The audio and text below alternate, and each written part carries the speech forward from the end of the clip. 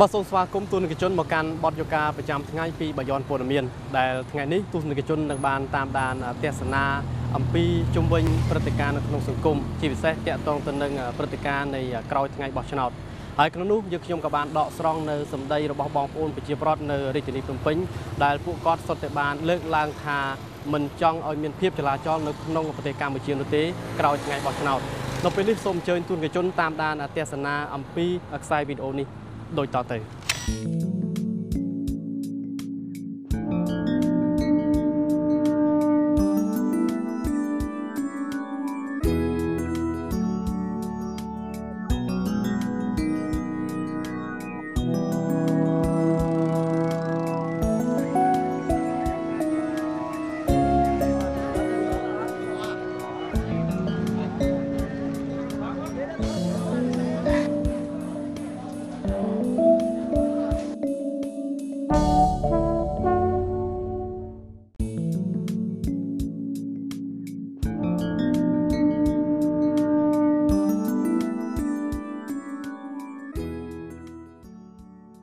គិតមកដល់ពេលនេះការរៀបចំដំណើរការបោះឆ្នោតជ្រើសតាំងតំណាងរាស្ត្រនីតិកាលទី5នៃរដ្ឋសភា បានប្រព្រឹត្តទៅរួចរាល់ទោះបីជាមានការរារាំងរំខានដល់ការប្រើប្រាស់សិទ្ធិក្នុងការបោះឆ្នោតរបស់ប្រជាពលរដ្ឋនៅកន្លែងខ្លះក៏ដោយក៏ប៉ុន្តែជាទូទៅដំណើរការនេះបានប្រព្រឹត្តទៅចប់ចុងចប់ដើមប្រកបដោយបរិយាកាសសន្តិសុខនិងសណ្ដាប់ធ្នាប់ល្អប្រសើរពុំមានឧបសគ្គអ្វីកើតឡើងជាធំដុំដែលធ្វើឲ្យជាអត្តពលមិនល្អដល់ការបោះឆ្នោតឡើយ ចាប់តាំងពីមុនពេលបើកយុទ្ធនាការនៃការឃោសនាបោះឆ្នោតក្នុងពេលឃោសនាបោះឆ្នោតថ្ងៃស្ងាត់ស្ងៀមនិងថ្ងៃបោះឆ្នោត28កក្កដាឆ្នាំ2013ផង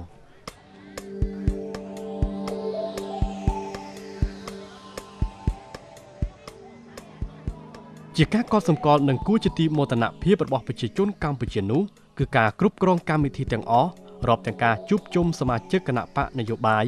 ឬការដង្ហែក្បួនឃោសនាតូចធំត្រូវបានប្រព្រឹត្តទៅតាមកម្មវិធីក្រុងទុកប្រកបដោយសុវត្ថិភាពគ្មានអំពើឃាតកម្មនយោបាយនិងអំពើហិង្សានយោបាយដែលនាំឲ្យបាត់បង់អាយុជីវិតមនុស្សគ្រោះថ្នាក់និងមហន្តរាយនានាដល់សង្គមជាតិឡើយលើកលែងតែមានការប៉ះទង្គិចតិចតួចក្នុងពេលដង្ហែឃោសនាជួបគ្នាតែប៉ុណ្ណោះ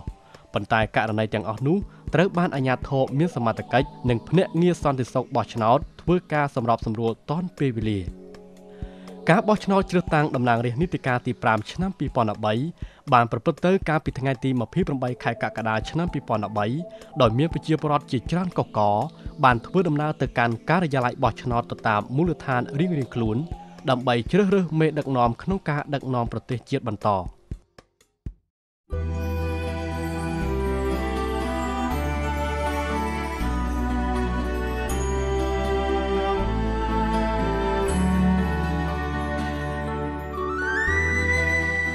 ទោះបីជាពេលនេះលទ្ធផលនៃការបោះឆ្នោតត្រូវបានគណៈកម្មាធិការជាតិរៀបចំការបោះឆ្នោតប្រកាសជាបឋមក្តី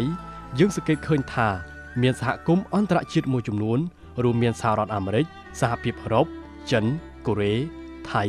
ហុងគ្រីបង់ក្លាដេសអង្គការសន្និសិទអន្តរជាតិនៃគណៈបកនយោបាយអាស៊ី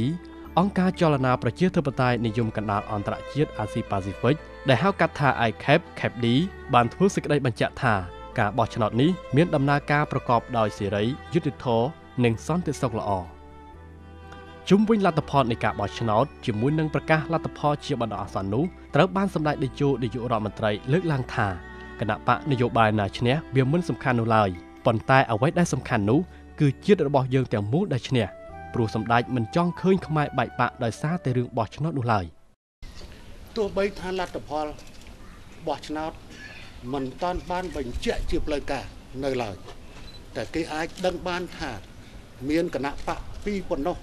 ដែលនៅក្នុងរដ្ឋសភានីតិកាលទី5ខ្ញុំសូមគូបញ្ជាក់ថាអ្នកណាឈ្នះបកណាឈ្នះបកណាចាញ់វាមិនសំខាន់ទេសម្រាប់គណៈបកនយោបាយតែយើងត្រូវដឹងថាជាតិរបស់យើងជាអ្នកឈ្នះចំណុចនេះមានសារៈសំខាន់ណាស់ ខ្ញុំឲ្យសារនយោបាយជាបន្តបន្តហើយចុងក្រោយខ្ញុំឲ្យសារនៅស្រុកប្រធានថាសូមកុំឲ្យការបោះឆ្នោតមួយคล้ายទៅជាការបែកបាក់ជាតិ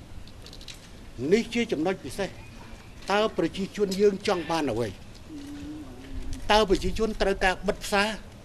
បិទតូបលក់ដូរបិទហាងកាហ្វេឬក៏បិទការ៉ាសាំងបិទធនាគារនេះជាបញ្ហាដែលត្រូវដាក់ជាសំណួរចំពោះម្ចាស់ឆ្នោត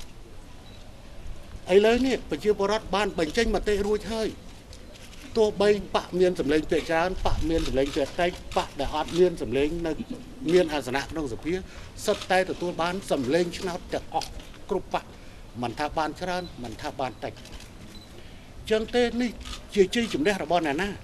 ជាជ័យជំនះរបស់ប្រទេសជាតិរបស់យើង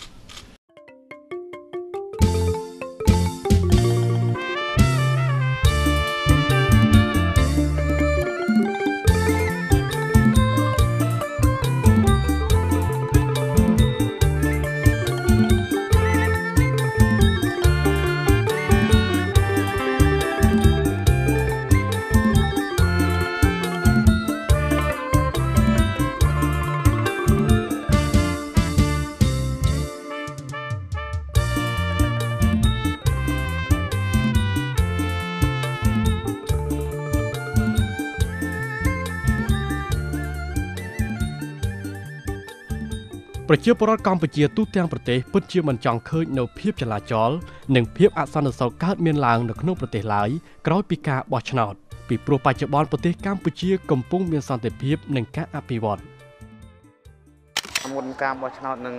ក្រោយការបោះឆ្នោតគឺអាជីវករសាធំថ្មីប្រធានសាមិនដែលបិទទេហើយក៏ស្ថានភាពធម្មតាការលក់ដូរវាមានថាវាមានដាច់ថ្ងៃណាដាច់ថ្ងៃណាអត់ខ្ញុំជាអាជីវករ គឺថាក្រោយការបោះឆ្នោតគឺខ្ញុំមិនចង់ឲ្យមានសង្គ្រាមមិនឲ្យមានបាតកម្មអីឲ្យធ្វើឲ្យប្រជាជនចូលច្បល់ឲ្យមានសន្តិភាពត្រឹមត្រូវស៊ីឲ្យគណៈបកទាំងពីរយើងដោះស្រាយគ្នាចង់បានមិនឲ្យមានសង្គ្រាមណាចង់ឲ្យបានសុខសន្តិភាពដូចរាល់ថ្ងៃហ្នឹងគឺថាប្រជាពលរដ្ឋយើងលក់នឹងសារថ្មីណាក៏ដោយក៏បានសុខសប្បាយប៉ុណ្ណឹងអត់ចង់ឲ្យមានសង្គ្រាមបន្តអីទៀតទេចង់បានតែសុខហ្នឹងហើយពួកអីភ្ញៀវអន្តរជាតិចូលជាប្រចាំរាល់ថ្ងៃផងរឿងសារធំថ្មីហ្នឹងណា ចាឲ្យលក់ដាច់អត់មានផលប៉ះពាល់អីទាំងអស់ទោះបីគណៈបកណាជាប់ក៏ដោយក៏ខ្ញុំជាអាជីវករក៏មិនកាន់និន្នាការគណៈបកណាទេឲ្យតែគណៈបកហ្នឹងគឺថាកសាងប្រទេសជាតិឲ្យរីកចម្រើនដោយសពដងទៅជាពេញចិត្តនឹងអាជីវករនិងប្រជាជនយើងធម្មតាគ្រប់ខ្ញុំជឿថាប្រជាជនខ្មែរទាំងអស់អ្នកណាក៏ដោយអ្នកណាដែលមិនចង់ប្រត់ប្រាស់ក្រុមគ្រួសារបកកកើតមានសង្គ្រាមទៀតទេព្រោះថាមកដល់សម័យនេះប្រទេសជាតិគេកំពុងតែរីកចម្រើនទៅមុខ ពិភពលោកក៏ទទួលស្គាល់ខ្មែរដែរណាក្នុងនាមខ្ញុំជាអាជីវករខ្ញុំយល់ឃើញដូចប្រសាសន៍របស់សម្ដេចនាយករដ្ឋមន្ត្រីអញ្ចឹងគាត់និយាយគាត់មានប្រសាសន៍ថាមិនចង់ឲ្យមានការបិទតូបបិទទីផ្សារបិទធនាគារចង់ឲ្យមានការរស់រវើកដូចសពថ្ងៃអញ្ចឹងអត់ឲ្យមានបញ្ហាដែលខកខានប្រកបការងាររករកលក់ដូររបស់អាជីវករជាពលរដ្ឋទូទាំងប្រទេសឲ្យមានការរស់រវើកឲ្យកុំឲ្យមានការផិតភ័យ គឺសូមឲ្យឲ្យមានការដោះស្រាយដោយសន្តិភាពខណៈឲ្យប្រជាជនដូចថាមានការយល់ចិត្តគ្នាដូចថាកុំឲ្យមានការភាពញុះញង់ធ្វើឲ្យមានសង្គ្រាមកើតឡើងទៅប៉ុណ្ណឹង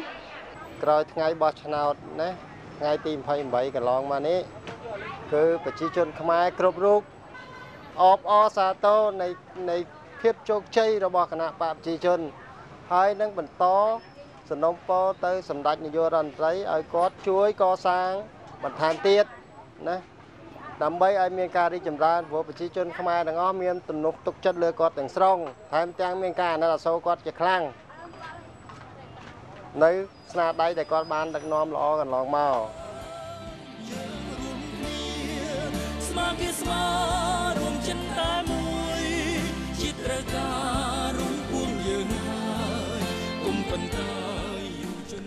ជាយ៉ាងណាក៏ដោយក៏យើងសូមសម្ដែងអបអរសាទរចំពោះប្រជាជនគណៈបកនយោបាយទាំងឡាយមេដឹកនាំសារព័ត៌មានអង្គការសង្គមស៊ីវិលនិងគណៈកម្មាធិការជាតិរៀបចំការបោះឆ្នោតនៅកម្ពុជា ចំពោះជោគជ័យនិងការប្រព្រឹត្តទៅប្រកបដោយសណ្ដាប់ធ្នាប់នៃការបោះឆ្នោតជាសកលនេះ ដែលការបោះឆ្នោតនេះគ្មានអ្នកឈ្នះគ្មានអ្នកចាញ់ប៉ុន្តែជាជំនះនៃប្រជាធិបតេយ្យប្រកបដោយការសាទរការរីករាយការចូលរួមយ៉ាងសកម្មរបស់ប្រជាជន ជាពិសេសយុវវ័យដែលទាំងអស់នេះបង្ហាញថាលទ្ធិប្រជាធិបតេយ្យពិតនោះគឺជោគវាសនារបស់ប្រទេសកម្ពុជារួមកងឡើងគ្នារុញច្រាននាវាកម្ពុជាដល់ត្រើយសុភមង្គល បើជាការពិតណាស់ដោយដែលទស្សនិកជនបានតាមដានអទេសនាឲ្យអំពីខ្សែវីដេអូអំបញ្ញមិញហើយក្នុងនោះយើងខ្ញុំបានដកស្រង់នៅសម្ដីរបស់អាជីវករមួយចំនួននៅក្នុងក្រុងភ្នំពេញដែលលោកថាមិនចង់ឲ្យមានសង្គ្រាមកើតឡើងនៅក្នុងប្រទេសកម្ពុជានោះទេដោយដែលប្រសាទដែលសម្ដេចបានលើកឡើងថាការបោះឆ្នោតនេះមិនសំខាន់គណៈបកណាមួយឈ្នះនោះទេគឺសំខាន់ប្រជាពលរដ្ឋកម្ពុជាគឺជាអ្នកឈ្នះអ្នកឈ្នះមានន័យថាប្រជាពលរដ្ឋកម្ពុជាមិនមានបញ្ហាកើតឡើងក្រោយថ្ងៃបោះឆ្នោតនោះទេ អរគុណទស្សនិកជនដែលបានតាមដានទស្សនានៅការបង្ហាញជូននេះឱកាសក្រោយយើងខ្ញុំនឹងមានប្រធានបទថ្មីថ្មីមកបង្ហាញជូនជាបន្តទៀតសម្រាប់ពេលនេះខ្ញុំបាទរួមទាំងក្រុមការងារសូមអរគុណសូមគោរពលា